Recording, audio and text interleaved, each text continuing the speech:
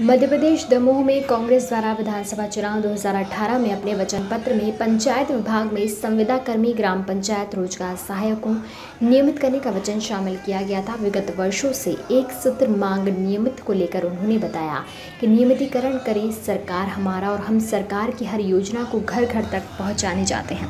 ग्राम पंचायतों में और अगर कोई जानता भी है तो ग्राम पंचायत में तो रोज़गार सहायक के अलावा कोई नहीं जानता। हम इतनी मेहनत करने के बावजूद भी हमारी ओर कोई ध्यान नहीं दे रहा है। सरकार, उन्होंने बताया कि हम सिर्फ़ एक ही मांग कर रहे हैं, सरकार से जो कि नियमितीकरण है।